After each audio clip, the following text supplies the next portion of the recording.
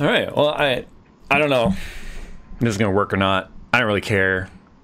I mean, you guys are lucky we're even getting a live stream today, man. I'm dealing with so much shit today. Wait, I do have an intro set up on this. Yes, I do have an intro. I actually thought about that. Oh, you did. Here, roll, roll, roll that intro. okay, here it goes. Welcome to Tech Talk 159, where there's going to be lots of lag and audio issues and buffering and shit, so just simmer down and enjoy the ride. And if you don't, just bitch about it in the chat till Coconut Monkey bans you. Oh, he's not he's not watching the stream. He's not. He's not even going to mod for us. He's down. He's downstairs dealing with that paint crisis. What a dick, man. No, no, Coconut Monkey is like the nicest guy, which is probably one of his faults. he is. He, he is way too nice. Way too nice for you, anyways. yeah. For so, me, uh, yeah. so, so, what's this? What's this paint crisis that you're talking about here? Uh, okay, so I guess we're gonna jump right into car talk, right, guys? First Well, of all, get out of the way. guys, you're gonna see audio and video sync issues with this stream. Uh, OBS is not playing nice on Skunkworks right now, and I don't have time to fix it. Obviously, I'm not at the studio. I'm at home in our guest room, which is where Skunkworks slash my gaming rig lives, and I slept in that bed. that bed, that bed makes a very good doghouse bed. Actually, I've never slept in this bed, so there's that. Dude, it's hard as a rock, but for some reason it's comfortable. It's not that hard anymore. Enough people have stayed over now, like f- for the weekend and stuff, that it's actually pretty broken in now. Oh, good. Good to Yeah. know. Oh, I'm It's sure just- it's plenty broken in, Jay. Okay, yeah, you like to bitch and complain that you know I'm I'm not a good friend. I bought this fucking bed for you. You're a good man, Charlie Brown. This bed my stay last night. exists because when you were coming over the the last time, I was like, I don't want Jerry to have to sleep on the couch or in in uh, Little Jay's pink bed again. So Oh I my bought I was this expecting thing. that too. I literally pulled out. I literally pulled out the guest PC. Remember, there used to be two PCs in here when this was I my studio. Yep. I, I, I yanked all that out so that I could put a bed in here for you. You're a good man, Jay. You're a good man. Okay, so if you guys saw in my ZL1 video I put up yesterday, in the beginning I talked about the fact that I am one of the featured cars at CamaroCon taking place in Temecula. Well, a good friend of mine who's also a service member in the United States Air Force uh, has a 5th gen 2SS full bolt on Camaro. And he basically was planning on coming out here and, and you know his uh, wife's family lives out here in southern california. So he was coming out here and he's gonna be one of the featured cars too in the fast tech booth with me. And he decided in february he was going to get the car repainted. And it was it's repainted with with auto dip. It's not that plastic dip. It's like a higher end plastic dip i guess. I don't know. I'm not personally a fan of peel coat. Uh, but anyway I, I just like paint it the right way or don't do it at all. It's kind of the way i am. And the base coat and everything looked phenomenal. It was like a matte, kind of a gunmetal-y black color with red flake in it. It looked amazing because because his car is like kind of based after Deadpool. Like he's it's a red and black car, and he was like he just calls it Deadpool, right? well, cool. now it looks like Deadpool because they fucked up the paint so bad. It literally looks like Deadpool's skin. So we have been downstairs all day paint correcting and sanding and buffing, and it doesn't look good at all. Like it, it it's not ever going to look right because there are fish eyes and there are uh, runs in the paint and everything, and and we're already dealing with like some places we're burning through the clear coat before we even get it smoothed and evened on top. So if you know anything about paint Jeez. correction, then you know I am fighting an uphill battle that is that we are going to lose. It's just we're trying to get the car somewhat presentable, but yeah, it's uh, it's not going well. So.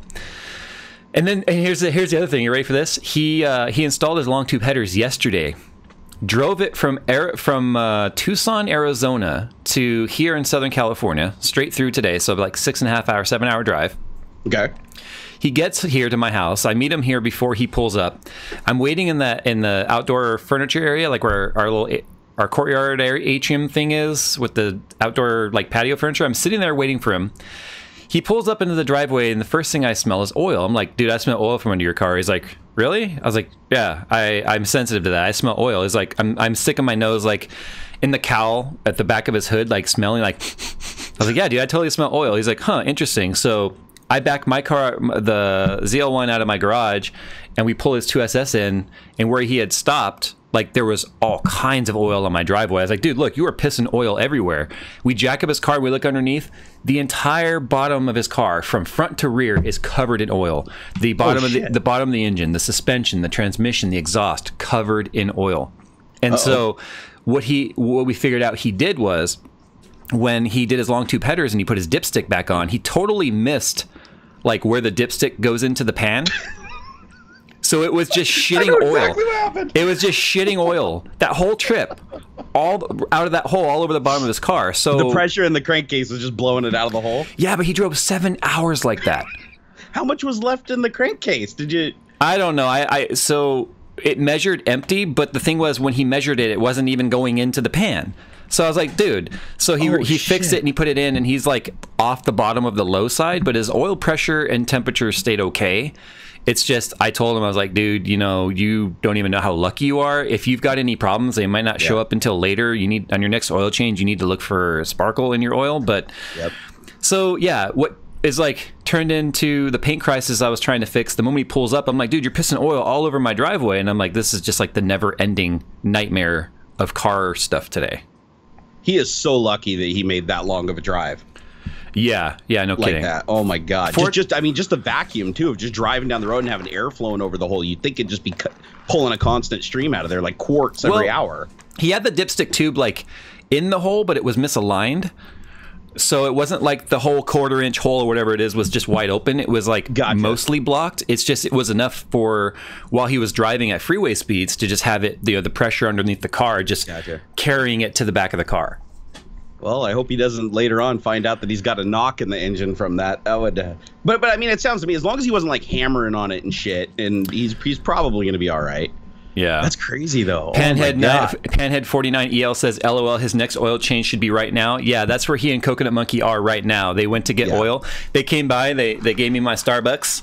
Uh, he gave me Starbucks for you know uh, that, that's all he, he's paying me to help him with his paint and stuff is Starbucks, which I didn't even ask for. But he um he went he got this while he went to get his new oil so we could do his oil change while he's here. But then he got the wrong oil. so So how are you gonna correct the paint? Were you gonna just sand? Were you gonna just sand it down and like reapply the paint that he had, and then try to clear it again? Or? It's, I mean, he already did a wet sand himself, which was not a very good job. But here's the thing: his paint is so uneven. I told him, I said, "Look, I'm." It was really cloudy too. Like the pic, I should have prepared pictures to show it. It's Oh, so bad. But I showed you pictures, didn't I? you did. You showed me Yeah. the one picture where I mean, it literally looked like it was rhino lined. Yeah, it looked like Rhino liner. Um, yeah. I, I, we, so I've got like a three stage paint correction because I have all the proper uh, paint correction equipment. I used to, I, I don't know how many people know this. In college, I did auto body, and, and so I know how to correct paint. But it's one of those things I keep telling them, like, dude, first of all, this is not like regular paint.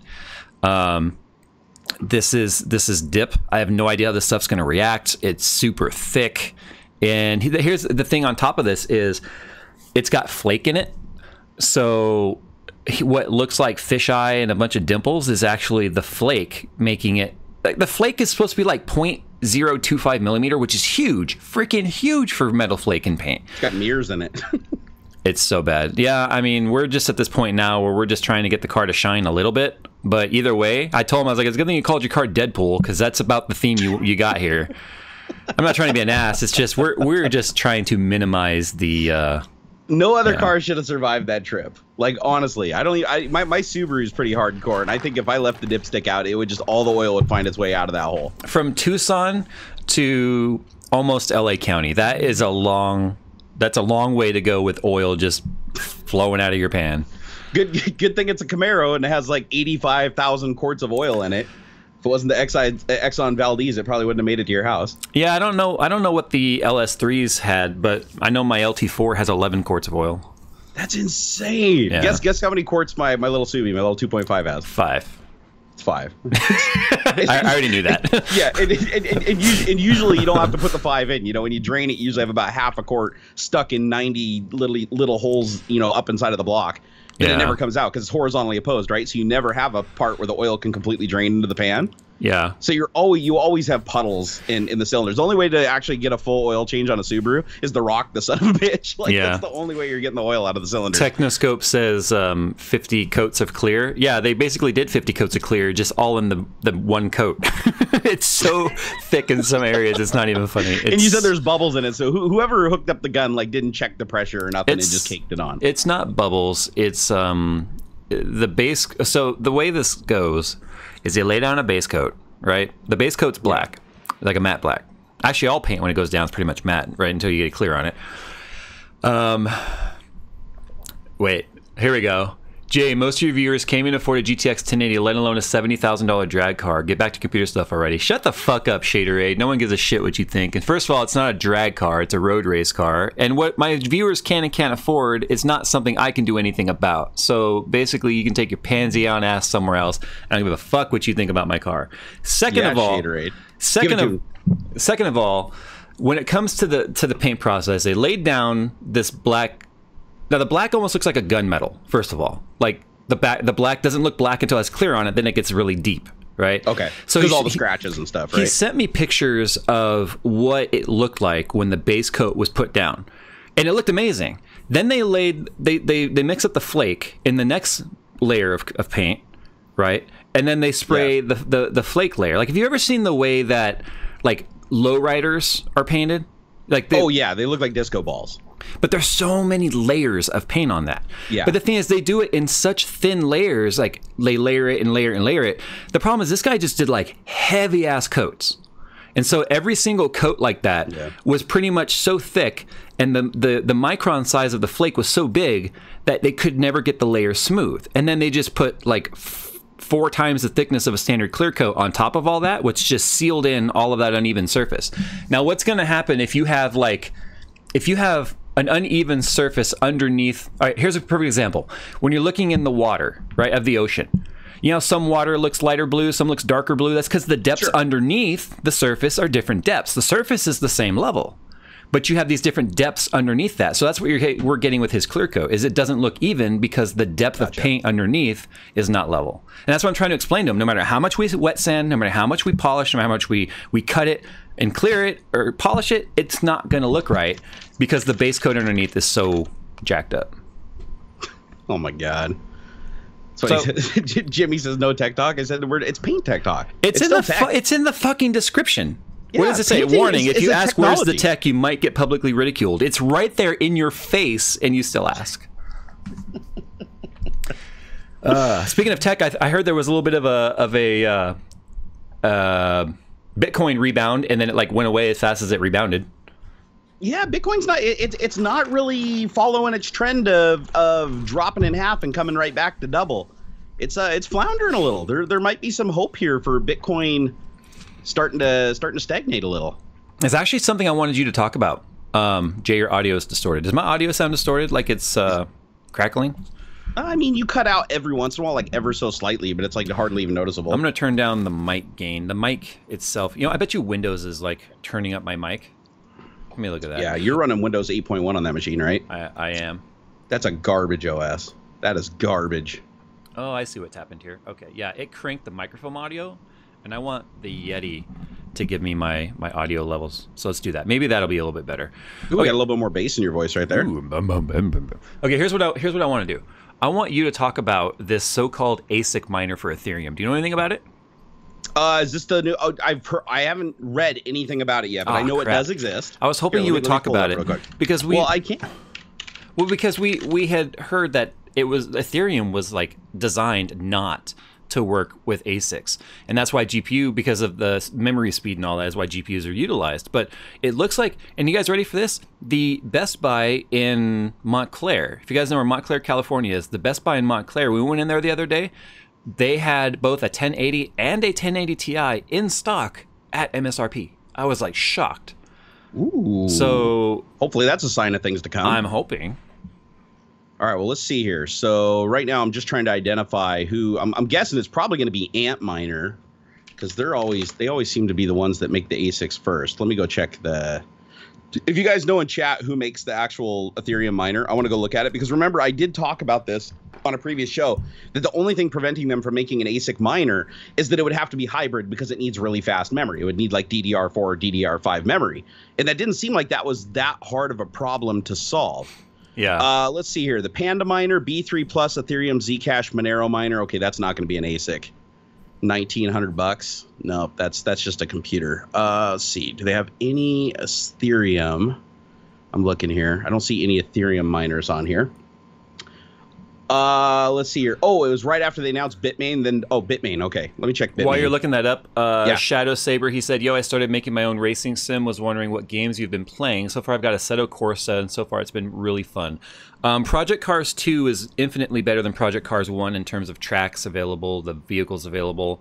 Um, there's um, Grid Autosport, as I think it is. It's more arcadey, but it's still good. Um, iRacing is going to give you the most realistic, ex- excuse me, experience. But the problem with iRacing is subscription based, and with the exception spendy. with the exception of the base tracks and cars they give you, everything's like either twelve or fourteen bucks. It's expensive. Damn, I keep burping. It's like expensive. Um, I have easily spent fifteen hundred dollars on iRacing since you introduced me to it three years ago, so it adds up a lot. Um, All right, so I think I found it. It's the Antminer E3. Yeah, I just I just found it. Hold on. Yeah, wow, from- they actually are for sale right now too. Yeah, man, it really makes me. I, this is this is me hoping that this this is going to bring things back to normal.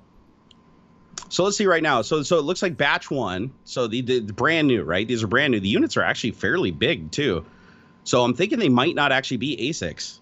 They might actually just be fully integrated miners. Let me let me check here. I want to see Yeah. What the notes on the unit are because this does this doesn't look like a conventional ASIC. It's it's it's too damn big. Someone says, "What about Forza Motorsport 7?" Yes, you can play it obviously through you know Microsoft um, on the on the desktop. The problem is it's very arcadey. If you're looking for a very realistic driving experience, Forza is really designed for controllers, and it's just not that realistic. Um, so I mean, but yeah, I mean it's a, it's another it's Forza's a fun game to just like build cars and go and thrash them. You know what I mean? Yeah. Oh, they are saying it's an ASIC miner. Okay, so I've got some information here. Okay, take it away. So, so, so it looks like right now, okay, so it's 800 watt power consumption. That's actually a pretty steep power consumption. It generates 180 mega hash a second, which is pretty respectable. Um, as a matter of fact, I think 180 is just slightly less than what I get off two Titans. So that's pretty, pretty respectable for something that's pulling 800 watts on a standalone. Yeah. Uh, let's see. So it is, uh, let's see, 180 mega hash a second. It does. They do classify it as an ASIC though. They say it's the world's first Ethash ASIC miner, ordering a limited number of miners available in China. You can mine Ethereum through cloud mining contract with Hashflare or Genesis Mining if you don't want to buy in one of these. Uh, mining metrics based on 238,000 gigahash a second. They don't give any specs on it, which is weird because they're calling it an ASIC, but they're not. They're not giving any details. They don't even talk about the memory that's inside of the thing. But then again, you know, it might be one of those things where they're just trying to keep it a closely guarded secret, and somebody needs to get a hold of one and crack it open. Can you explain something to me? Yeah. Now, I, it comes as no surprise that I'm pretty stupid. Now, I don't really know what the difference between an ASIC miner is and any and a other- computer doing it or a GPU, right? Yeah, yeah. Okay. I mean, I know what So- ASIC quality is. So, of course, I'm always confused by like, what's the difference of an ASIC miner? And I'm thinking of ASIC quality. So, and I know what ASICs are. So, explain to me what an ASIC miner is. Okay, so the ASIC miner is literally a piece of hardware that is designed just to do the one hashing algorithm and nothing else. There's no overhead. There's no additional instructions. Um, it doesn't have programmable chips on it, so it's not having to go through any kind of a logic chain to figure it out. It's like if you had a calculator that was hardware, basically that only did one mathematical function over and over again. It would be way faster than having something that had to have software logic built into it to do it. Yeah. So, so the idea with the ASIC is you basically have a piece of hardware where you feed it a number or feed it a set of numbers or a set of data, and it processes it through a chain that only processes the data in a very mechanical way. It's digital, but it's doing it in a mechanical way as it only handles the data in one possible way. So it moves really fast and can cycle way faster than a conventional chip, like like uh, like an x86 or x64 chip that has you know a ton of instructions and has to go through you know 30 or 40 different cycles on the CPU to do some very simple operation. The ASIC just does it all in one operation. hmm So so it can do it incredibly fast, and it's it's pretty much the most efficient way that you can do any kind of mathematical computation. Now that was great for for doing Bitcoin mining because Bitcoin mining just required you to literally guess a number. It would give you something called a seed, and you would use that seed in this very specific algorithm to generate numbers. And the per- first person to generate a number with so many leading zeros randomly basically won the coin. So it was it was all it was all just basically the lottery. Ethereum works a little differently because Ethereum generates these tables in real time, like huge lookup tables of these numbers, and it requires a shitload of memory to do that. And the more memory it has, the faster the operation is. So now what the ASIC has to do is the ASIC has to get its data and process it out of these tables that are dynamically generated, and the GPU was really quick at doing that because of how fast the memory was. It really didn't matter how fast the GPU was; it was more about the memory on it. So then, how come in the beginning everyone was saying you can't mine Ethereum on an ASIC because it's designed not to, and now suddenly they're doing it? Because everybody was making the incorrect assumption that the thing would have to be 100% an ASIC.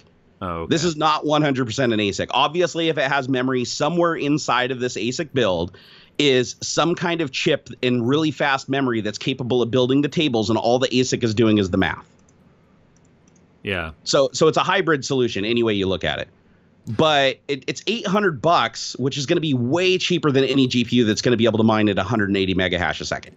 So, that's good for the GPU industry. Like I- people are probably buying these up by the thousands right now. I didn't see who said it. The comment went by a minute ago that the Ethereum ASIC is like it's too late for it to make a difference.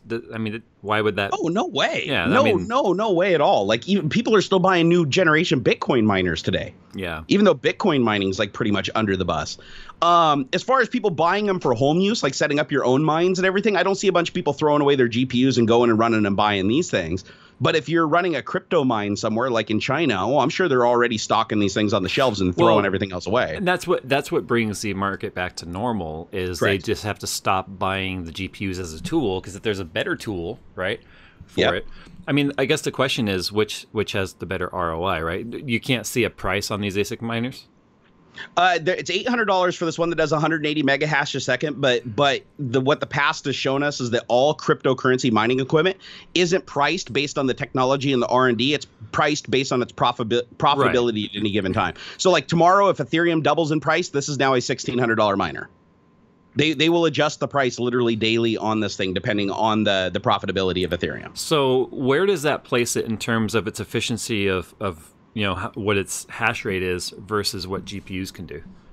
Well, it says right now, okay, so the price tag at $800, D3 miner is about as expensive as one pair of RX 580 graphics cards or three GTX 1060s. You aren't getting anywhere near the same sort of hash rate for that sort of money with consumer graphics cards. So Okay. that tells us right now that because 180, like I said, my two Titans is having a hard time doing that. Oh, see, that sounds really high. It's a really high hash rate. So basically, you'd need three GTX 1060s and then some to hit that mark. So the $800 price point is actually quite cheap. Scott says Scott Knight says only the first batch was 800, so it's probably already inflated. Probably. Let's well here. Let's go see. Uh, I can go to Bitmain's website because they sell direct. Right. Um, as a matter of fact, a lot of my mining equipment that I had for uh, for Bitcoin was from these guys. Huey Okay, so- Skydiver in chat says who's making these Bitcoin cards? They're not Bitcoin cards. They're ASIC miners by um, Bitmain, right? Yep, Yeah, they're of the Ant Miner. Ant miner. Let's see here, Ant Miner. Let me find the ETH. Ma- They've only got one right now. Oh Jesus. Okay, so just give you an idea of how much the inflation was. Batch one was eight hundred dollars. Okay, batch two is twenty one hundred and fifty. Yeah. Okay. for the exact same hash rate. So just like I told you, 800 was when they first came out.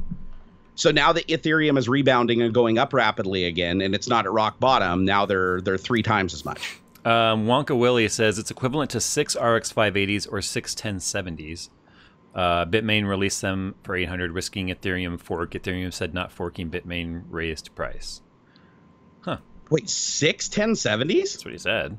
No shit. Well, fuck, I was way off then. If that if that's the case, Even But- even at even at twenty one hundred dollars, based what what it costs to buy six of those graphics cards, you're still saving Yeah. money by getting this thing, true. Twenty one hundred fifty. probably using a lot less power. Yeah, and the thing is, as people bring these online, because the hash rate is so incredibly high, and they can just run twenty four seven maintenance free, and they don't have all the problems that come along with having an entire like you know uh, operating system and shit. Uh, you're gonna find that China is gonna start bringing these things online, and like, oh, I, I guarantee you, as fast as Bitmain is making these things, they're selling them.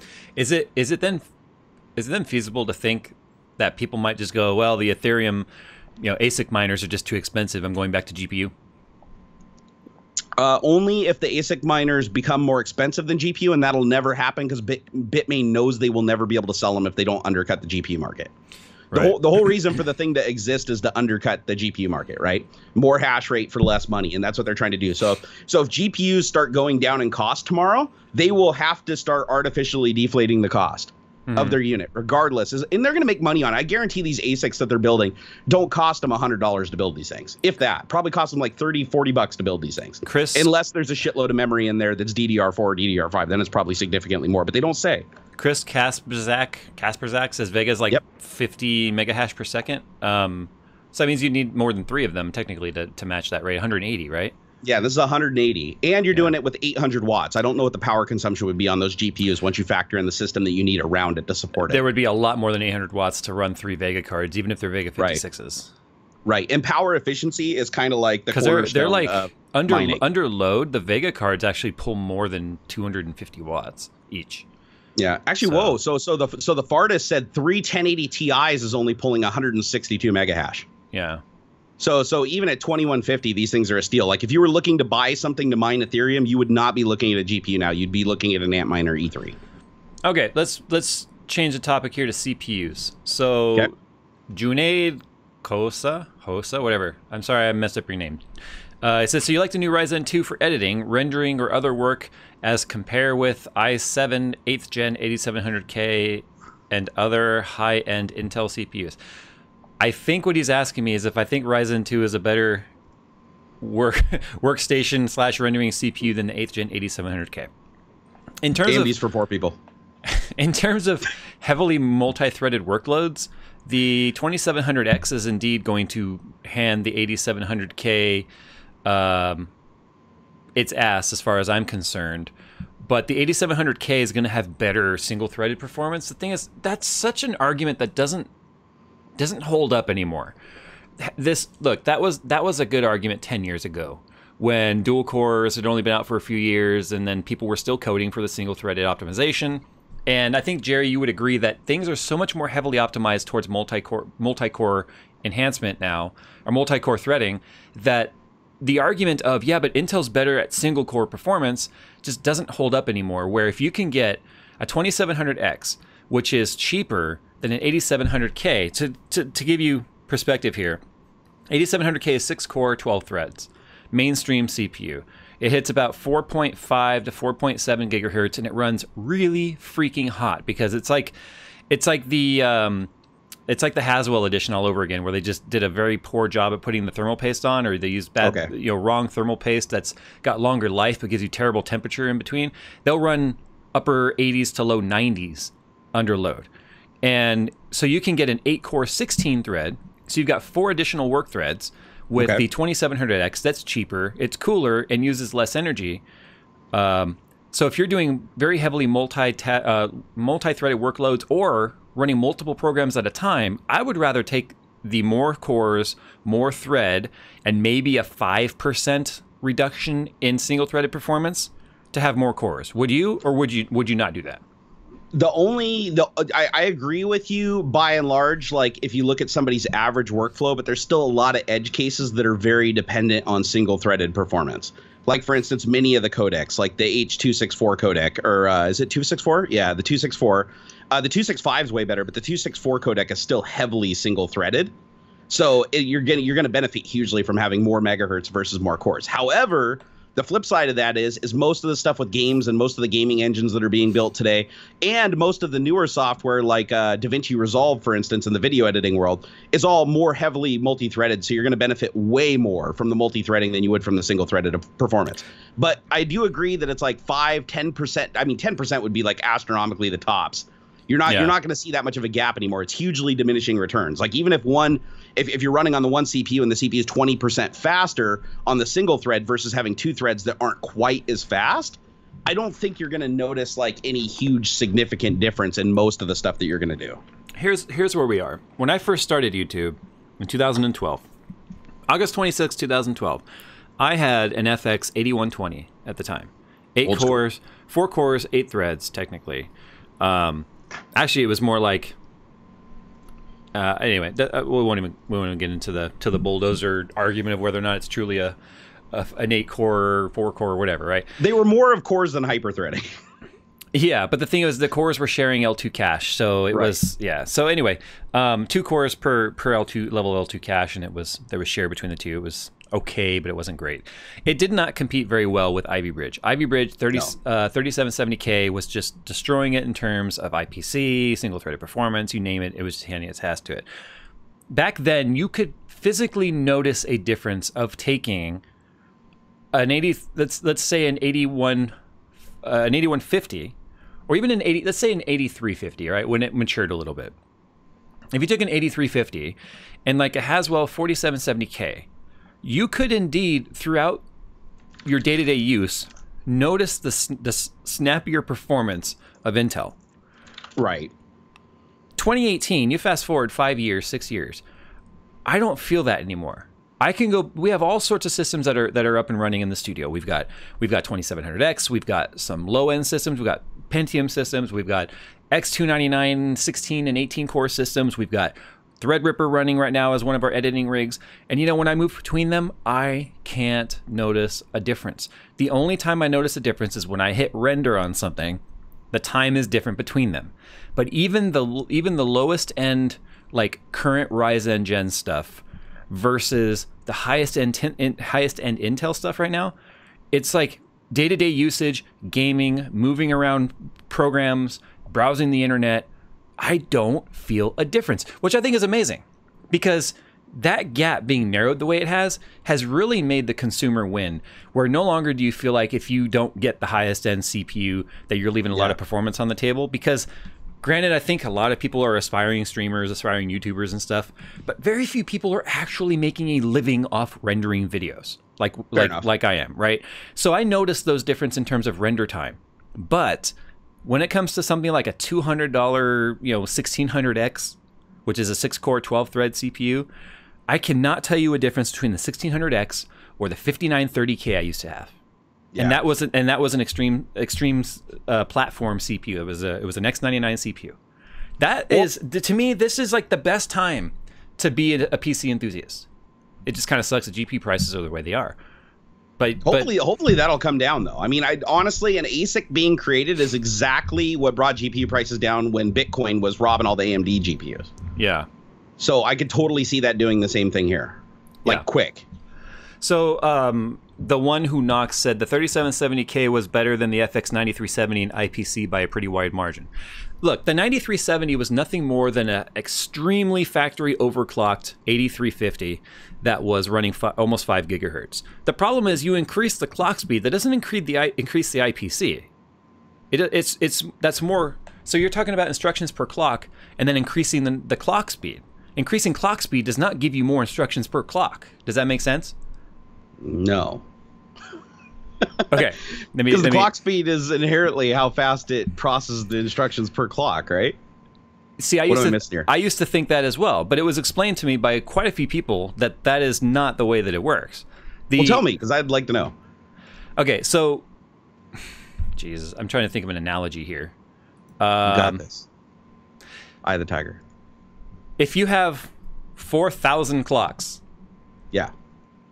and each clock can give you a certain level of performance, adding more of those clocks does not give you more clock performance per, let's say, megahertz. Okay, you're able you're able to complete more tasks in that amount of time, but you haven't actually increased the actual instructions per clock. If that makes sense, it's like the amount of instructions that that one megahertz can do does not increase. You just increased how many increased how many megahertz you're doing in the same amount of time. So that shows the level of performance, but the IPCs themselves have not changed. Okay, so let me show you where I'm a little confused. Is that the CPU's megahertz is how fast the, C- the CPU is, cl- is is cycling. Right. Each time the CPU is cycling, It's it's, the taking same- its instructions. It's the same number of instructions. instructions. Yes. So it's the same. Yeah, each clock is the same number of instructions. Right. So if the CPU is running at 100 megahertz and now it's running at 101 megahertz, you technically would be processing 10 more cycles per second or millisecond or whatever the fuck it is. Right. So you increase Um, you increase the cycles, but not the actual clock per cycle. This is confusing. I believe I, I agree. And this is this it's is very confusing. this is where when I made I, I made the assumption one day in a video that overclocking was increasing my IPC, like the internet lost their shit. That it wasn't true. Interesting. Interesting. So, no, no, I mean, and, and, and it's just one of those things. It's not a matter of right or wrong. I just I don't understand it right now, but I know that it's incredibly complex because I know that the way a CPU cycles also is inherently tied to its instruction set. right. Like for instance, the old RISC processors. Remember, they were literally reduced instruction set. That's that's what RISC was. See, like Joe Ogrim says, CPUs are super scalar. They su, su, su, super scalar, whatever. They can do Yep. multiple instructions per cycle. Okay. Well, yeah, because they, they have multiple instructions. Because each time the CPU cycles, you're literally jumping in between the time slices on the CPU, and you're changing the values in the instructions. Literally, there is a clock there's an interrupt that happens between each cycle of the CPU where everything says, "Quick, get your shit into the registers," and then the next cycle goes through and processes everything in the registers, and then all those values get changed through the register instructions that were called and then put into different registers. And then the CPU repeats and repeats and repeats and repeats. Load instructions, load See- information, process. And it's just doing that, you know, literally millions of times a second. Oh, there's such a good discussion taking place in chat now. Like now, now they are kind of arguing with each other. Jetto Black says clock and cycle are the same thing. No such thing as clocks per cycle. It's instructions per clock is what we're talking about. But what I'm saying is, so it's supposed to be like Oh, I see what he's saying. You do this. Okay, no, no. Okay, now that makes sense. Rel- Rello actually made sense. Okay. Up here, uh, re- re- what is it? Revel Revel Pathon said you do more with less time, but you still do the same amounts per cycle. You just do more cycles per second. So, so that makes sense. You're not changing how much work the CPU can do per cycle. You're just changing how, how fast it cycles. Right. That's, and I guess that's what I was trying to say is like the actual clock can only do so much, and you increase the overclock, you're doing more clocks or cycles Got per it. second, which is getting you more data. But the IPC or the instructions per clock didn't change. Is what the That's internet lost okay. its shit now about. this makes sense. Okay, that's Okay. where I was getting really confused. Okay, so yeah, the instructions per cycle are never going to change because the CPU, even you're, you're speeding up how fast it's going through, but each cycle it's still only doing the same workload. Right. because that cycle is literally just processing and the that's instructions. and that's why the through. internet lost their shit when I had Ah. said that I overclocked for a better IPC, and everyone's like, "You didn't change the IPC," and they like, like literally like took to Reddit. that makes sense because you're not So- looking at how much work the CPU is doing within a given time. You're looking how much work it's doing within a given cycle, right, and, there- that's not going to change. The CPU can only do whatever its instructions, whatever the architecture dictates it can do per cycle. That's all it can do. right. And this is why I could never. is- this is why I could never be a CPU engineer because I don't even think my Mm-hmm. brain is capable of ever learning like the deep engineering level of of how a CPU works. Now, I think there was like a was a homologation between Intel and AMD where they both basically have the same instruction sets. Now, like like didn't AMD get all the MMX stuff and then Intel got all the SSE stuff? But th- there's still a gap. A- Oh, there A- are AM some things AM that one has that the other doesn't. Well, what I'm saying is, uh, I'm talking about purely IPCs. Like, if we take the IPC performance of Ryzen 2 versus, um, you know, the latest, Okay. whatever Kaby Lake. No, no, they weren't Kaby Lake. I don't remember what they're calling this shit anymore. It's too many lakes. So if you take the 8700K and its IPC and the Ryzen 2 and its IPC, there's still a different a, a gap between them. But it's like Okay. it's like five between anywhere between five and seven percent. I think it was. Because the interesting thing is, if it can do more per cycle, like in an optimal scenario, right? It, It's not able to do it with everything, right? There has to be a, uh, pretty much you have to be utilizing whatever that thing is that that chip can do on that cycle that the other chip would have to do two or three cycles to accomplish. Hey, here we go. Ni- if- Nighthawk just put it in a perfectly understandable way. IPC is the track size. That doesn't change. Your speed around the track can, can change. Okay, well that's a, that's a fair analogy. Because the way I'm looking at it is, if if you can do more per cycle, then technically you could do more work with less cycles. So Therefore, you could have a slower clock speed and do more work under an optimal situation if you're utilizing it to 100% of its its capability. Right. But of course, in an engineering level, you know, about 12 years ago, we they took the path of let's just add more workloads and just we'll build the CPU sideways rather than increasing what the actual core can do.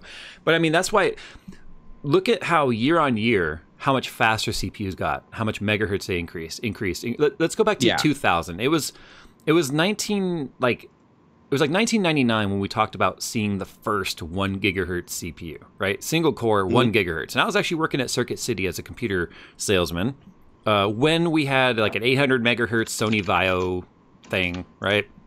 Sony desktop. Who remembers the Sony desktops? But anyway, um, I do. and then I remember when we had the first one gigahertz, and it was just like amazing. And then it was just like, next thing you know, like three weeks later, it's like here's an 1100, here's a 1200. Yeah, here's shit a- picked up quick. I remember that. but but what happened when we hit four gigahertz and above? That shit just hit a wall quickly. Well, So- Intel sent out a statement saying that five gigahertz was the theoretical limit at which copper, or what was it, like copper traces or something through silica, could could transmit. Like that was literally what they were calling the ceiling. And we've even kind of blown that out of the water with more electricity and more heat dissipation. Yeah, But So- we can't go any further. There is a limit to how fast you can cycle. I mean, literally, the laws of like thermodynamics stop you from going any faster. Um, well, I mean, I, I think LN2 overclockers would challenge that. What's the what's the highest speed an LN2 overclocker's ever gotten on an X, X like an X64 processor? Oh, I don't know what the highest is, but I know we've seen 7.9 gigahertz. Jesus Christ. Yeah. But the CPU isn't going to survive for any period of time at that speed, right? Mm, I mean, a lot of times they're doing it on single core because they can't carry that frequency across all cores. Although I do think, I do think Threadripper got like a six something gigahertz all core. Mm-hmm. But Maybe I mean, that was theoretical on air then, because I, I I distinctly remember when I was working at Microsoft, the Intel sent out some notice about them when they started doing massively more multiple core stuff. Yeah. Like like they were explaining that the reason they were doing that is because they literally could not go any like five gigahertz was like the limit where they could go on maybe air, with just air cooling. But they were like we have to start going out, and that's when they started announcing that they were going to do everything up to a 30 uh, 32 core processor, I learned and that was like seven years ago. I learned uh, quite a bit when I had Kingpin come to Vince Kingpin come to my studio and we did the Yeah. LN2 overclocking with the, his his video card. Yep. I learned an awful lot about how how the various temperature range actually affects the the actual CPU. Like we he was he broke it down really well for me. He's like we can go and he was really good to the sense where he was like look at this temperature we can probably hit a theoretical max of this and he would be within 25 megahertz of, of where we would crash at the certain speed. He's like, okay, let's drop it down now to. He's like, let's go negative, you know, 60 C, and then we would, and then we would drop it. He'd be like, okay, with that negative 60 C, we could probably hit this speed, and we went lower, all the way down to about a negative. Where do you go? Like negative 90 C, negative 100 C, something like that. And it was pretty. It was pretty awesome. And he was explaining to me what actually happens to different electrodes and, and different um, you know the, the actual core of the GPU under certain temperatures, which is why we also had a heat gun pointed at the the output. So a lot of people ask like, what's the heat gun for? Because here we are pouring liquid nitrogen into the pot, and we're controlling the condensation. We're controlling the temperature based on how much liquid nitrogen we let burn off versus when we pour it back in. Because there was it wasn't just fill the pot, fill the pot, fill the pot. If you do that, Yeah. you're going to overcool. It and it gets too cold, then it doesn't work anymore. But a lot of people I ask- watched Travis Jank break a world record on an Intel CPU at PAX a couple of years ago. Yeah. And yeah, I watched that where he has to heat it up with the torch while he's putting the liquid nitrogen in it to balance the temperature. No, the torch isn't for liquid. Isn't for balancing the temperature. It's for creating crystals on the actual inside of the pot, which create, creates more surface area. Oh, that's what it's for. So, That's it's, what it's so it's for. actually getting it colder. It's getting it colder, and the thing is, if you pour just a liquid nitrogen inside Wow. of a copper pot, Mhm. then it just boils, and and the temperature. Here's the thing. So I had the 18 core CPU, the Intel CPU. So you know, 30, 36 threads, 18 cores. That Okay. I had the LN2 pot on, poured the LN2 in, and then it only got down to like 35 C under load. I mean, that- you can hit 35 C on water, right? Are you following me? Can you? No. Okay, so we had we had the 18 core, 30, 36 thread CPU, and and the the LN2 pot on it. So it's just a tower of, of liquid nitrogen, right? Yeah, it's just copper. It's copper, right? Yeah, The it's tower? copper, and then it's Okay. insulated on the outside. And then we poured in the liquid nitrogen, and under load, it would still hit like 30 C, 35 C. And I was like really surprised. I told him, I said, "Wow, I thought this stuff's supposed to go negative." He's like, "Well, we didn't actually flash it yet." I'm like, "What do you mean flash it? Like this thing got a BIOS?" I was joking around, right? And he's like, "Well, no." He's like, "Now we got to hit it with the torch." So what he would do is we would pour the liquid nitrogen in, let Okay. it start to boil off, and then we hit the inside of the pot with the torch. You can actually see this in my video where I'm sticking the torch inside the pot. Yeah, I saw Travis doing the same thing. I was assuming Right. he was like trying to pull, like add heat to it because it's getting too cold. No, so if you look, the Okay. inside then turns very crystallized and it turns white inside. Then what you did is you just created basically like all of these just different jagged layers of surface that has now increased the surface area of the actual like pot itself.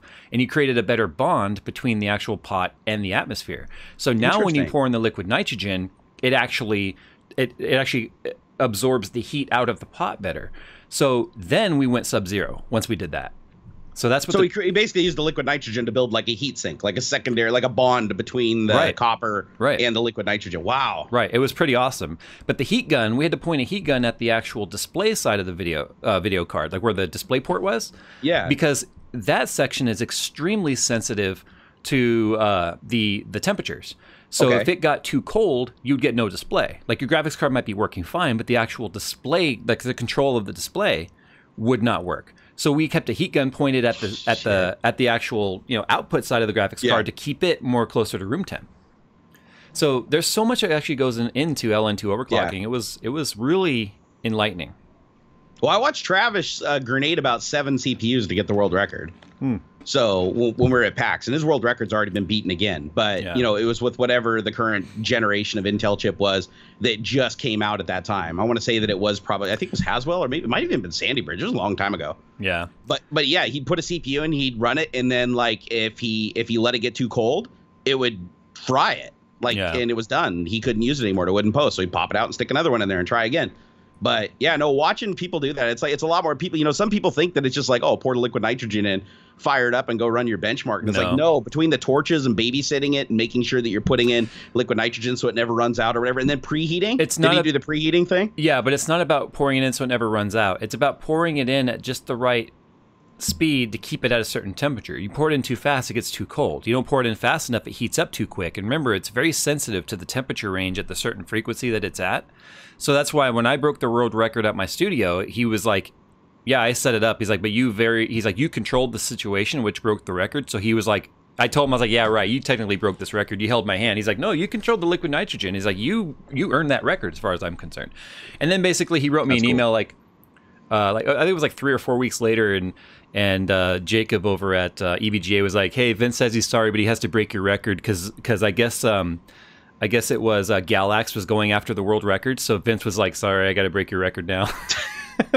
so, and he did. He he broke my record. Pretty, and then the Well, you got, to the, hold, you got to hold it for a little time.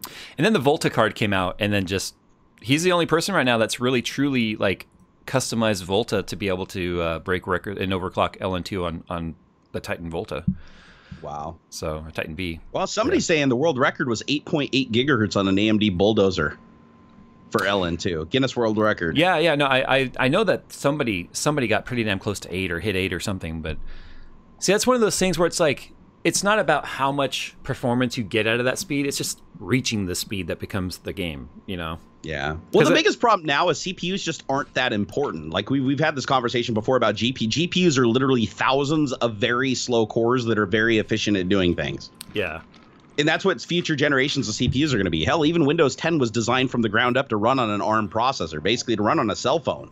Right. And that's why Windows 10 runs so good. Is if you ever notice, Windows 10 front loads a lot of stuff. It does a lot of look ahead caching. It does a lot of things to make sure that you're not waiting on operations, unless they're pure I/O operations where you're opening something for the first time that's never been opened before. Everything's been optimized. Even if you've opened a file before and you reboot your computer and boot it back up, you will open that same file again quicker because what it'll do is it'll index and page out the memory when you're shutting down into the page file so that it knows exactly where to recover it back into memory into the cache while you're booting the computer back up again. So Windows has gotten really I clever. kind of I kind of hate that sometimes because there's there's times where like my my workstation at the at the studio will start acting really kind of funky. Yep. And I want to do like just a complete shutdown and, and restart the system, and then it reboots and brings everything back up exactly where it was. I'm like, no, I want you to kind of not do that. I want you to just dump everything and start over. You used to be able to hold down. I haven't tried it in a long time. But it used to be. I think you hold down the Shift key. If you hold down Shift key while the computer's booting, it bypasses all of the startup options and run key in the H key local machine run and startup. well, you see, Jerry, that would make too much sense because even Microsoft turned took off the safe boot or the safe. You know, you can't even boot into safe mode in Windows 10 without like a key now. No, no, the way you boot into safe mode is really stupid. You literally just boot the computer up, and then while it's booting, just Control Delete, and then it'll try to boot again. Hit Control it again half, halfway while it's booting, and then after it fails two times, it'll present you with the menu where you can do it. But there's no way to go into the menu just with F8 anymore. They they they stopped that shit because they didn't want people like accidentally getting in there. Accidentally getting in there, which makes troubleshooting a pain in the ass. It's so stupid. I've had to do it on this computer like three times where I boot up the computer and I basically have to fail the startup on purpose just so it'll let me into the damn uh, options menu. Oh, Hob- Hobseltoff says if I reboot using the command line, it won't do that. Talking about Oh, so if you do like shutdown minus R minus T zero Yeah. from the command line, yeah. Jay doesn't like the command line because he types really slow, you know. So he, he does he doesn't like the command line. I type as slow as you drive, dude. Jay, oh, that was actually that was actually a pretty damn good bird. That was a pretty good deal. Hey, hey, it's no fair if if, if we both got to drive our own cars on the track. That isn't fair, okay? Like a blind person could get around the Nurburgring faster in your car than I could in mine. Come on, seriously. I would take. Or I, die. I would. I would race your STI in my Z. Actually, that'd be a that would be a fair match. I'd, I'd take that action. Although my car understeers or, or, or understeers like a bitch, so I don't know if I'd want to do that. I'm I'm scared. My car, you got to commit like a bitch on a track, and Look, I'm kind of scared. there's nothing the you can out there's nothing you can tell me that will make me feel bad for you because not only do we have the Nissan challenge, we also have the Subaru challenge all in the same group. So we've got we've got all kinds of. Subarus out there doing grip with us, and I see the way they drive. You're just a pussy. I just got to set mine up. well, you've, have you ever been in my car when I tried to go around a corner pretty fast? Uh, Because yeah, I but you, most of the stuff we did was straight line speed. no, right? you you did some freeway ramps in the in the moist, but Yeah, it doesn't. It just. I need to get better tires on it, and the and it's not. It's set up for rally. It's not set up for street. So the thing does want to understeer really bad on the pavement, and the only way to correct that is to use the brakes to get the weight to the front, and then get the ass end all kinds of slippery all over the place. And with the short wheelbase, that's really scary in that so car. so when I when I had the ZL1 at Buttonwillow, that was the second time I had taken it to the track. I did four sessions at Chuckwalla, just destroyed my best time I could do in my Z. Just absolutely like seven seconds faster, right? Oh my god! in a, on a on a two minute track. So and that's after you've been out in the Z several times on the same track, right? I've, This is your I first time had with the I had already had like twenty sessions in the Z at that track. Because I know what it's like to get used to a new car, and you didn't have a lot of time to even really get used to that. Nick went out with me. Nick went out with me in the first session on, on the ZL1. I didn't go out there and warm up. I just went out there and was like Leeroy Jenkins. I mean. Leeroy Jenkins. basically uh yeah so anyway um took the took the car over to buttonwillow and i drove the first two sessions solo my my driving instructor was uh stephen doherty was was coaching someone else and so i was like shit this is gonna be interesting going out learning the learning the the lines in this car on this track in this direction that i'd never driven Yeah. before and with by myself. So i brought him out did that and then i did like really shitty. I did like a 209 and then like a 206 right? Then he i gave him the keys to the car for for session three uh, oh no i'm sorry session three he coached me. And when you have a coach it's like you're faster but you're still spend a lot of time kind of waiting for the instruction like you want their feedback and so you kind of Yeah. drive inherently slower because you're kind of absorbing information and then the next session you really just go and apply it Sure. uh, just like Dirtfish, right? And Yep. so I let him drive the fourth session because I wanted to see what the car was capable of. And of course, he did like a 158 with traffic. Has and he ever driven one before, or was that the first no, it was his first driven? time. So, so we did a we did a 25 minute session, and it was really eye opening because I watched him just like each lap, like kind of analyze what the car was doing and what he wants it to do, and he's kind of learning a car he had never been in before, and then watched him like just flip a switch in his brain, and literally I was sitting there like practically shitting my pants with the way he drives. But the, but here's the best thing, I the the session before that he coached me, then I watched him apply what he was coaching me, and then the fourth session, or I'm sorry, the fifth session, the bonus session, I just went out and dropped like another four seconds off my time down to a 201. So I went from a 209 to a 201 in the same day, in a track I'd never driven, and, and a car I'd only been on track in a different track with. so, That's impressive. but what I wanted, the point of this story, is the car that I was battling the entire time was a fully built uh, Hawkeye STI. Oh wow. Okay. Literally, there was a Hawkeye STI that he and I were at the 204, 205 second range. We're just literally up each other's ass, right? I'd point him by because I'm like, okay, I don't, I don't want to hold you back. Then as soon as I point him by, suddenly it's like my intensity goes up. Then I'm riding up his ass, and he points me by because he's like, dude, get off my ass. So we're just like leapfrogging around the track every few every few laps. We're passing. And this is like a other. built time attack car that's got like diffuser on the back, giant wing. No, not not to that level. tires? It's actually he, he, he actually does um, all surface. It's it's like allsurfaceracing.com or something like that. And so he does. Uh, this car is set up for multiple things. Like they'll set it up for Oh, dirt. wow. They'll set it up for grip. The point is, at the 204 205 range, um, he and I were battling like crazy. After seeing after after going out with Doherty and then just sending it, like yeah, there wasn't even a competition anymore because I dropped like another four seconds off my time. And then, but my point is, I have seen what these Subarus are capable of. So your argument holds no water, except for the fact that you are set up for loose surface. And, and, and I weigh 320 pounds. So uh, I have a passenger with me every session. well, I have a passenger with me when I don't have a passenger with me. You, dude, you make it sound like I'm light. I am not light. It, it is a torquey car, though. I'll give you that. The, no, the I'm talking about me, my body. a lot of low. My Oh, you- body. I am not that light. I sit in chairs and they go, ugh. I still, I would love, I would love to get out on a track with you. One because I'd pretty much go into it knowing I was going to lose because I've, I've seen the way you drive. You've got me dead to rights on pavement. You've got me dead to rights on a simulator. Mhm. Um, but just after me spanking you in the dirt, I only think it'd be fair for you to just completely destroy me on a track someday. Yeah. So we got we got to make that happen. So Oh, I gotta- one of these I gotta- days I'm gonna come down there and get a car. I got I got to tell you offline, but I'm going back to Dirtfish. Oh, you are? It's for it's it's for a completely different sanctioning body, but they're working with Dirtfish. oh, interesting. Yeah. Interesting. Well, let me know when you're doing that, and uh, I can put you up here if you want. Yeah, I think it'd be fun. I think I think I want to get Volair out there too. Yeah, I'd, I'd be happy just to come hang out. I don't got to do shit. I just want to come hang out and watch you do do your thing. The thing is, it's going to be the all-wheel drive stuff, which is you know I'm going to be lost on. So No, no. You know what you're going to be surprised on is the BRZs. You had to carry your speed everywhere. yeah, The Subarus, no. The Subarus, you literally just square turn sideways out of the corner, punch at the floor, and you're pinned to the seat. I mean, they get such good traction. when I when I told my instructor that I'm going to need some I'm going to need, need some instructing to prepare for this event because it is a bit of a race. Yep. Um, he said what you need to learn is the zero counter method. And I was like, zero counter method. He's like, yeah, basically you, you, get the car rotate, you point the wheel, and you just hit the gas, which is exactly what you said. Where I'm That's used exactly to counter what you do. steering, and he's like, you don't counter steer with the all-wheel drive. nope. So Nope. The trick with the the trick with the Subarus, you literally go to the outside of the corner. You don't aim for the apex. You go to the outside of the corner so that you come out of it with the longest possible straightaway you can get. yeah, And you get the car sideways and you just slide sideways majestically until you're about lined up with where you want to go. And I swear, as soon as you hit that gas pedal, that car just sinks down into the dirt about an inch or two, yeah. comes to a complete stop laterally, and just bolts straight. Especially with the And- rally tires, they're they're they're Yeah. designed to bite with lat- with the side of the tire. Yeah, the the gri- the grip of tires, even the ones that were on our BRZs were pretty grippy, but again, we only had rear wheel drive. When you have the front pulling and the back pushing, and you got all that, uh, and you got a brand new set of tires on there with the really sharp edges on the grip of tread, Mhm. holy crap, man! They they hook in the dirt like you like like a normal car would on uh, on not good pavement, but like shitty pavement.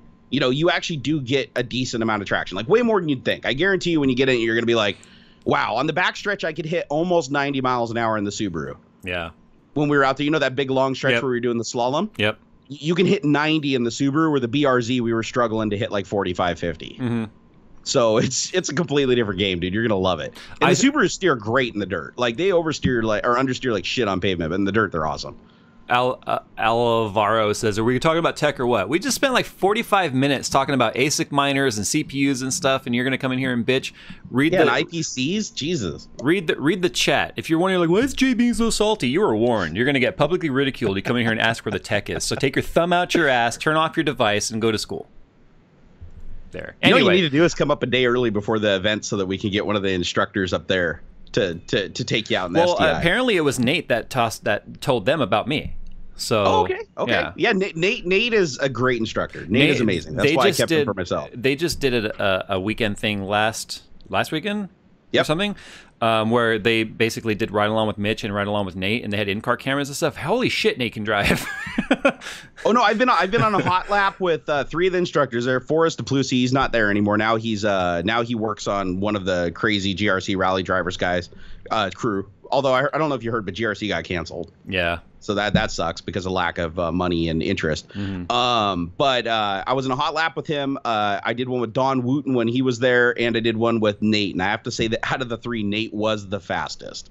yeah. Like Nate, like he's he's properly crazy. See, he'll, they had- they had through in-car- tunnel sideways. they had in-car cameras and they were showing um, Nate's navigator and, and like the level of focus on Nate's face when the Yep. navigator's calling out. I was like, he's like just he's like wide-eyed and just looks like stone cold. You know what I mean?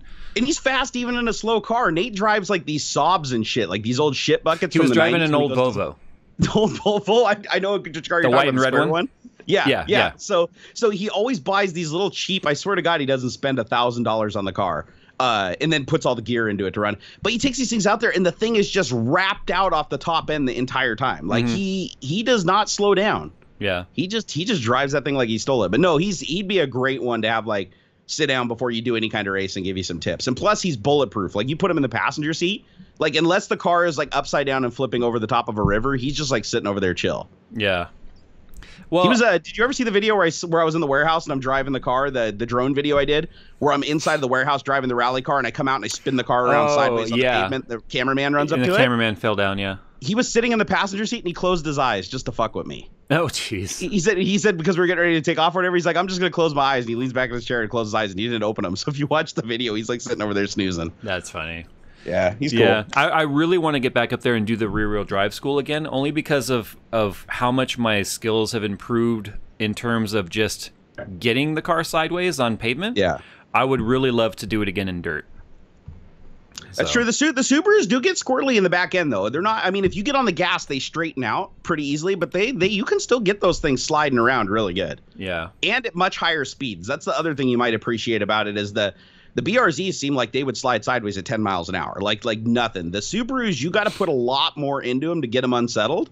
So it's a lot more high adrenaline. Like I would have to say that when I went out there, I was expecting the BRZs to be a lot more dramatic than they were. It's like you actually had time to think. And the Subarus, you're you're white knuckled in a lot of the shit that you're doing out there. yeah.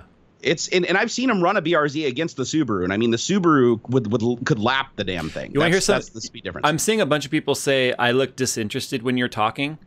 What they don't realize is when I'm looking off to the side this way, I'm actually looking at Jerry's camera. It's that way. So I'm looking at Jerry when he's talking, you dumbasses. Jesus. anyway, moving. Oh my god, why does it why does it why does everybody always gotta be mean and try to create drama? I don't get that. I don't get that. The entire internet just has been on a kick lately. One to just if they can't find drama, they create it. Dude, the ZL1 was so fun on track, dude. I was, I was those first two sessions. I was basically going into the garage like with our, our race group. I was like, "Who wants to ride along? Anyone want to ride along? Someone needs to come out and feel this thing." Like, because if I just come back and tell you how good it is, you'll be like, "No, no, it's a Camaro." Anyone who went out with me came back going, "Holy shit, what? WTF?" Dude, I'm com- I'm coming down to do it. I know I know I can't do it close to Mother's Day, but the next track that you do after that, let me know right after We're- Mother's Day. We're gonna be going tickets. on lunch break and or lunch break, uh, summer summer break until like September, I think. And even then, I don't think I'm gonna go in September because I think it's Big Willow. Um, November is the one you're gonna want to go to because that's Chuckwalla. Okay. Although Button count, Willow, count me in. although Buttonwillow would be a lot more fun because we get a lot more speed in that car in Buttonwillow than we do Chuckwalla. But Oh, do they got a nice long straight?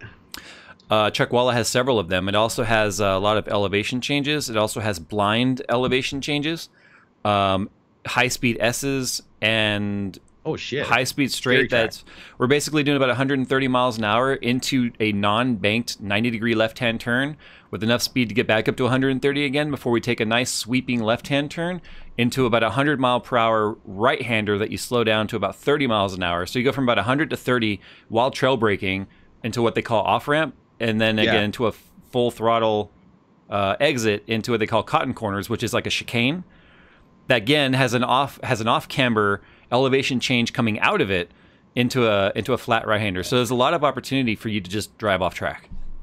Wow. Yeah, Wow, is there a lot of run out or is it a pretty Oh yeah, you're like- not going to hit nothing in Buttonwillow unless you get really stupid on the last turn on clockwise going into the start finish. Then there's a wall there. Yeah. Other than that, Well, next, time, yeah, next time you come up here, I'll take you out to the Ridge. You haven't been out to our tracks. We have two here. We got Pacific Raceways and we got uh, the Ridge yeah. out in Shelton. They're both they're both within an hour, hour and a half of me. Um, and I'll tell you what, the Ridge has a corkscrew turn just like Laguna Seca. They actually modeled it after Laguna Seca. Oh, cool. So and so so it's I think it's only the- it's one of the only other tracks in the United States that has a corner like this, and it's the same blind come over the tip, aim for the trees because you can't see the track anymore because it falls that hard. Yeah. And it's it's a lot of fun, but there's tons of run out. That's why I like. So I'd, I'd even be comfortable letting you drive my Subaru out on that track because it's like if you eat shit off the road, you just go out into a big dirt field. That's that's the only thing you're gonna do. Chuck Wall is a lot like that too because it's in the desert. It's just Yeah. you just run off into a lot of fine dirt, you know. But yeah, Chuck Wall is is still my favorite tracks. It's a momentum track, so it's just about keeping your momentum through the turns. Buttonwillow is a rhythm track, so if you get out of sequence in Buttonwillow, then you really kind of screw up the next two or three turns. Yeah. Um, but I, I I'll have to show you on my PDR, um, which is a, the performance data recorder. So it's the, the camera and telemetry built into my car. Where coming out of the S's in Buttonwillow, uh, I curbed a little bit too hard on the left side, so it upset the car at 110 miles per hour. You see me do a 30 degree counter steer at 110 with the back end of the car coming sideways, coming out of the S's. My coach or my instructor, he didn't tell me till later that he practically shit a brick because he's like at 110 on the passenger side, feeling the car go com- like just completely come off the ground on the back end, Yeah. and then it, it was at that moment even though he's coached me now for an entire year and a half it was at that moment where he finally he said he felt 100% comfortable with getting in the car with me when i'm really trying to send it because he realized at that moment that i'm on top of it because the counter steer just came so natural i didn't even realize it happened until we looked at the footage That's funny. So so basically, he didn't even think you were gonna be able to catch it. no it was he I asked him that, and he basically was like, "No, it's just as the passenger, you have that split second of wondering, like, is he going to catch it? Because the thing is, we're oversteering at that point towards a wall that's only about thirty feet away. Yeah. Well, hey, I'll tell you what. Next time you go to Dirtfish, ask Nate why why he lets me uh, why he lets me drive with one hand. Mm-hmm. Because that's that's that's like a bad rule there. They Yeah. teach you Dirtfish. You're always supposed to have your hands on the wheel. You only take your hand off the wheel to shift and then back to the wheel, right? Uh-huh. But when I'm driving, I'm all like, "Eh, eh," you know, like this because my belt, my belly's in the way, right? Yeah, so yeah. I, so I, so I'm always like doing the same. Well, there was more than a couple times Nate and I were out there where I was like on the third day doing the high speed shit through the woods where I was getting dangerously close, spinning, going into the river, and I kept just magically saving the car because my instincts are just like, ah, ah, ah, Yeah. this way, this way, this way, and I get the shit back, and he's just like, whatever, just keep doing it. Like it seems to work for you, whatever. And it was pretty funny because like from there on out, all the classes that I did there, the instructors were all like, no, no, it's cool. That's a bad habit, but you seem you seem to do a lot better with it. So we're just gonna go ahead and let you keep doing it. Yeah. No, But I, don't think I'd get away with that shit on pavement. I was pavement, scared. I was scared when I. Okay, so the first session with the ZL1, like full transparency, my car cost seventy three thousand dollars. It is not a cheap car. I make like I make monthly payments on that. I can't afford to just go buy that car with cash. So I'm going, okay, I got a car payment. Insurance ain't going to cover that thing if it gets fucked up. And yes, of course, there is track insurance, but it's like $400 a, a session or $400 a track day. I'm like, you know how quickly that'll add up? Yeah, it's a lot cheaper than not having to pay your car, pay your car off. Yeah, I know, I get it. But anyway, that first session, it's just like, okay, here we go. Because it's not just me. It's not just what am I able to do with the car? Am I going to hit something? Am I going to go off? It's is Yeah, someone people can hit you. is someone going to hit me? I- Yep. Am I going to slow down for the high speed braking zone and the guy behind me suddenly's got no brakes? You know what I mean? Because that's Yeah. that's or his legit. brakes aren't as good as yours, right? Because you got fucking epic brakes and sticky tires. What if the dude behind you's like an, a Golf doing a buck ten with like you know But you see, drum brakes? But you see, any what I'm about to say, anyone in chat uh, who who does HPDE or time attack will will know is you don't jam the brakes. You you don't you don't drive into the braking zone super hot and then just jam the brakes because that upsets the car. It's it's it's a it's a squeeze and a slow release with the brakes. So I've been behind people that suddenly are just jamming on the brakes and I'm like, "Holy shit, why are you overslowing the car like this?" Because they they they get scared going into that turn. They're not comfortable trail braking or maybe the car just isn't very good at trail braking. Like the Z is terrible at trail braking. It wants to spin when you do it. Uh, Yeah. It's not about how much can you jam on the brakes in the turn. It's about how smooth can you transition from from acceleration to deceleration into turning. And the ZL1 is actually great at it because it its braking bias is so good. It loves to trail brake. So I can carry a lot of that speed and bleed a lot of it off with the turn rather than the brakes. So it's just about transitioning that momentum forward on the front wheels to keep Yep. the- them from understeering squeezing off the brake slowly as I'm turning the wheel, and then so I've got a little bit of trail braking, and I've got just momentum and the lateral G's slowing down the car, and then easing onto the throttle coming out of it. Because the other thing with the ZL1 is if you just even with the tires heated up, you just mash the gas, that you're you're kind of fucked. The car wants to go around. Even Right. even with the tires at full temp in track mode with the traction control set to race which is the least amount of intervention possible when you watch my pdr you see the you see the traction and stability light coming on constantly just constantly coming on even at 100 miles per hour on a straight line you'll see the traction control light come on because it's trying to spin the tires at 100 miles Yeah, it's hour rear wheel drive and 700 horsepower. There ain't nothing that's gonna put that power down unless you're doing what 100 miles an hour. yeah well you'll, you'll see there's times where we're doing 100 and, and or even 130 you'll see the traction light come on Yeah, I know the Dodge uh, Charger Hellcat that I drove in. We were doing 80 on the freeway, and he stomped it to the ground, and the traction control was going blah blah blah blah blah blah blah because Yep. it, it was still breaking the tires loose. But I, I didn't figure your car would do that with all the downforce. my car doesn't have that much downforce it just doesn't make a lot of lift Oh, really? Oh, for some reason I thought that the Camaro had like crazy downforce. Only 300 only 300 pounds of rear downforce with that spoiler at 155. That's not a lot of Oh downforce. shit, that's nothing. the yeah, thing that's is nothing. the thing is the splitter and stuff on the car are so functional, it actually creates very little lift. So, Yeah. let's put it this way. Um, yeah, guys, car talk, deal with it. So, if we are dealing with a car that lets a lot of air under the front of the car, right? It's going to pick up. Yeah. The more air cushion you have under a car, the more it's going to push up on the car. So let's say you make 500 pounds of downforce, but you got 250 pounds of lift. You've got effectively Right. 250, 250 pounds of downforce. right. The thing with this car is it makes practically zero lift at speed. So all the downforce is usable downforce. it so what you really notice in the terms instead of in terms of braking stability and high speed cornering is the fact that the air cut cushion under the car is not fighting you. And Gotcha. it's super noticeable. Like the Z, the Z's got functional aero with the Nismo, but the Z feels like it has a ton of lift versus the Camaro. oh wow. Yeah. Does uh does, does so does the Camaro have like the full underbody plating that makes it like completely flat underneath? Only the front half of the car, and then the sides. There's there's there's skid not skid pans, but they're flat covers.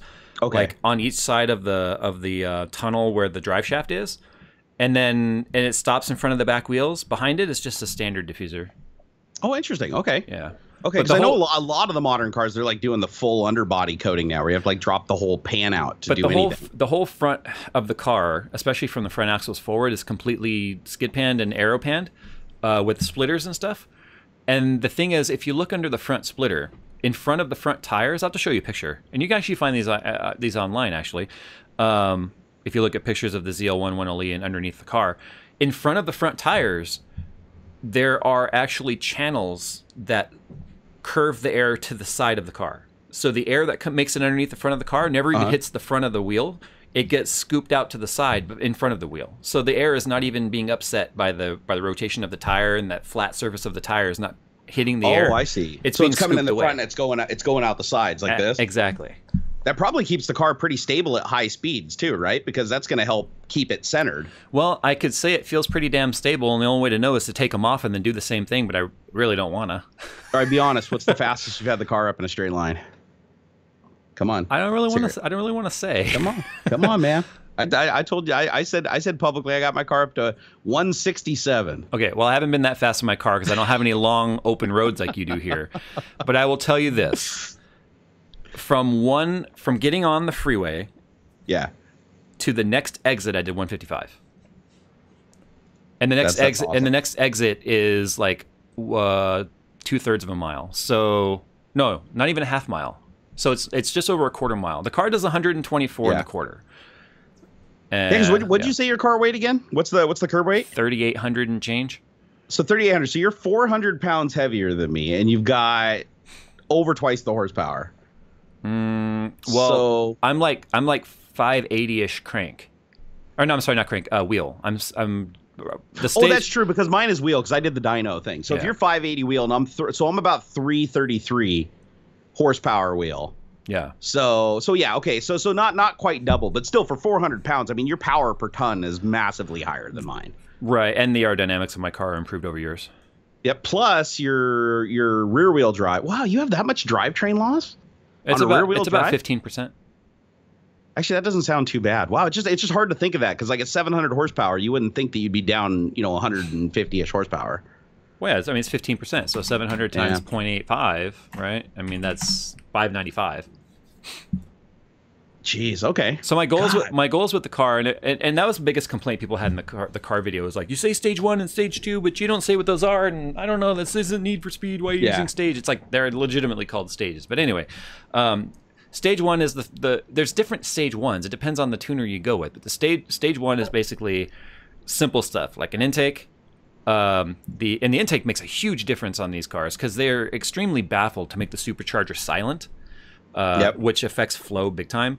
But in my my particular stage one is the um, the the rotofab intake, the ported throttle body from Mamo Motorsports, which is basically uh, like an ARP port or ARP, um, yeah, A- AAR, whatever.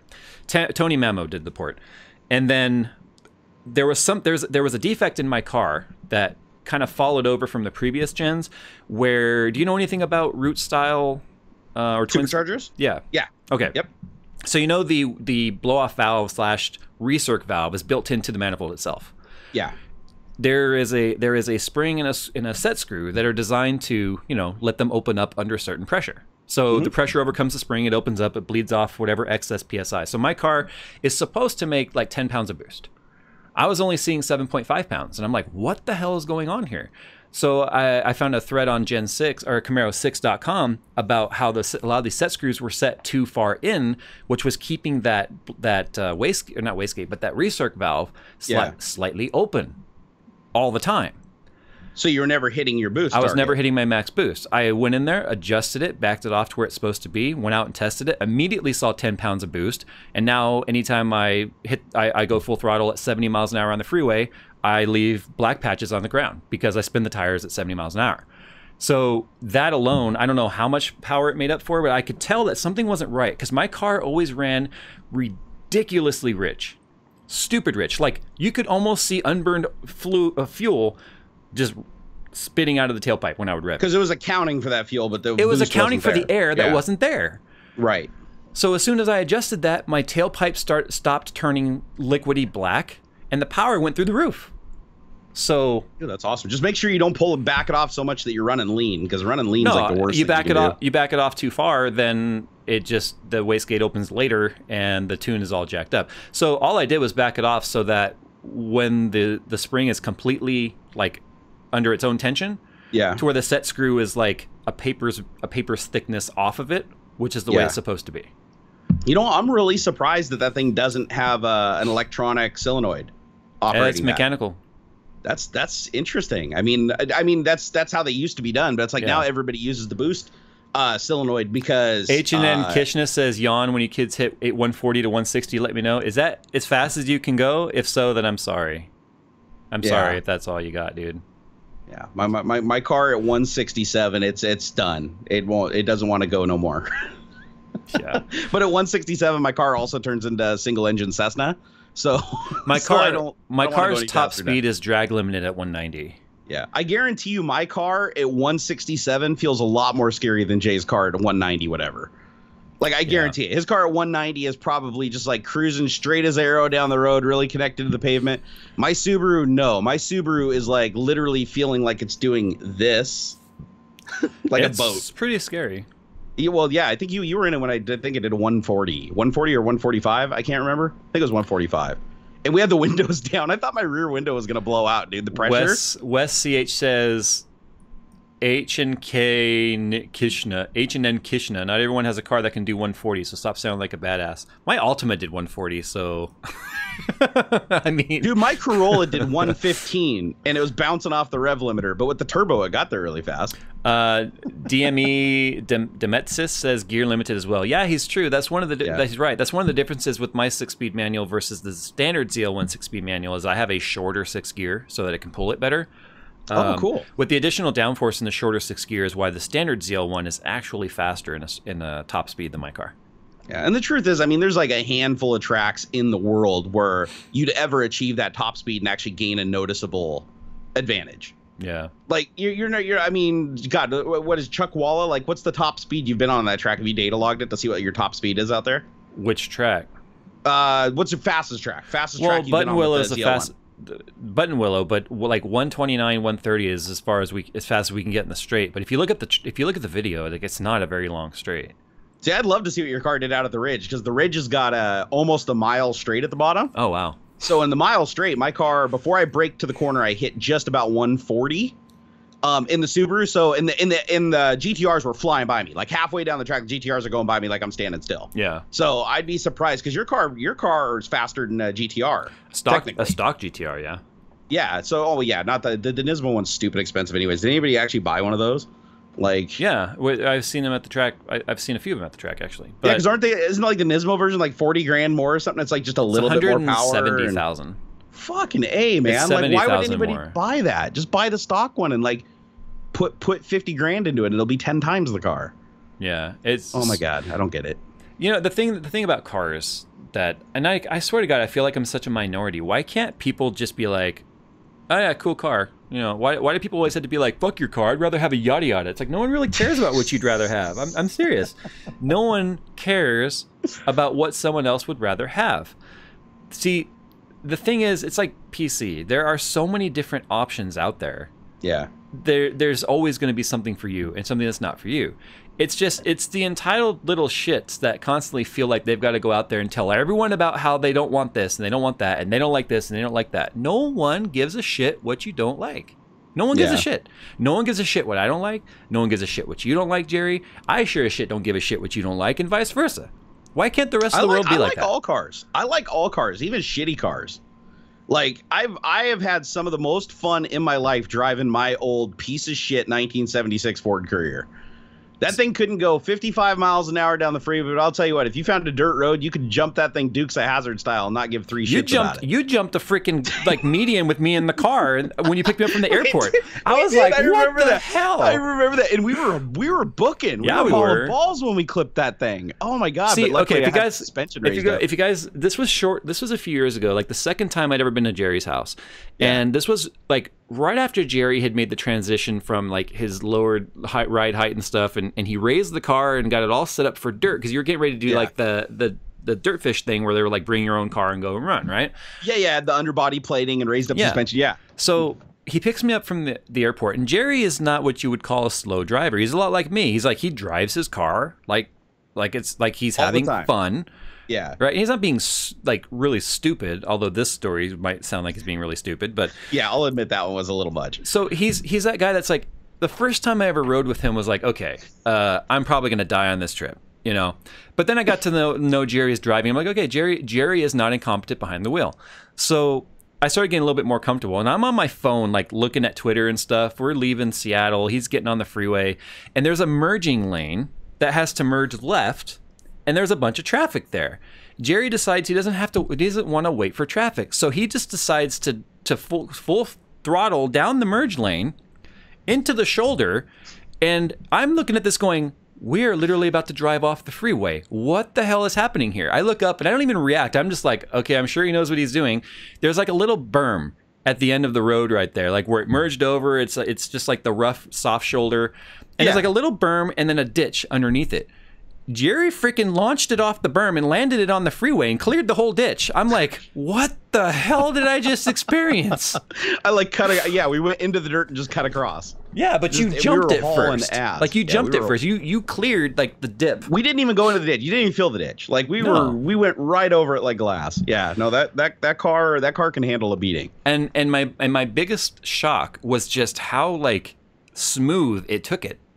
Yeah, you know the person behind us was like shitting a brick too. Oh yeah, I'm sure. like- I'm sure it looked 'cause like it looked like Thelma and Louise. Let's be honest. Yeah, because they were trying to out accelerate us. They did. They, they they could tell we were trying to get in front of them. So they're Yeah. like, "Oh yeah, we'll show them or whatever." And I was like, "Oh fuck it, dude, I'll take it in the dirt. I don't care. It's a, it's a dirt car. We can do this." Yeah.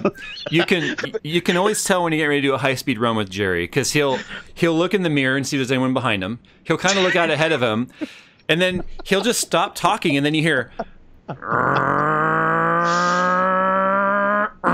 And then Jerry kind of gets like this much more intense like look on the wheel, and then he just he did he you know you're gonna go fast because Jerry stops talking. To be honest. yeah, honest, my attention increases by a huge magnitude when I'm going really fast. Like I, I don't, I, I can't just sit there and do like 140 miles an hour and have a conversation with you.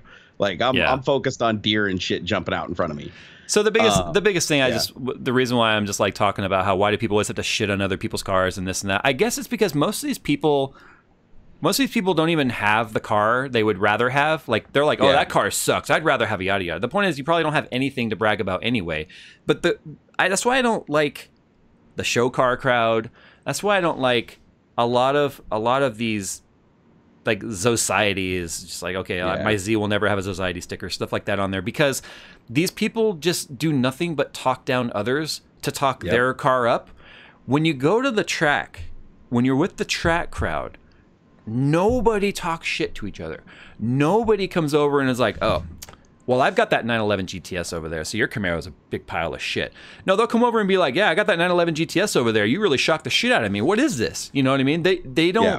they don't just oh, a little American piece of shit. I mean, you've got the you've got the little racing clubs and they'll all kind of hang out, but I can't even tell you like how many GT350R and GT350 owners have come over to me and been like, "Dude, I've heard, I've seen these, but I've never seen one in person. This is badass." And I'm like, "Yeah, what do you got?" And they're like, "Oh, the 350R." I'm like, "Dude, let's go look at your car," and we'll just sit there and, and just and talk and compare and Yeah. never sit there and just put each other down. That is why I love the racing crowd. That's that's what I'm more addicted to at the Yeah. track than the actual driving. Is just getting to see so many of these cars that you only read about and you only hear about. You see on on, on Top Gear and and the the Grand Tour, and you get to see them in their element. Which is why so many people come over to me with the ZL1 and they're like, "Wow, you're actually tracking it. That's awesome because that's what the car was built for." You know. And when I was at the at Buttonwillow, there was a guy there that had a blue one.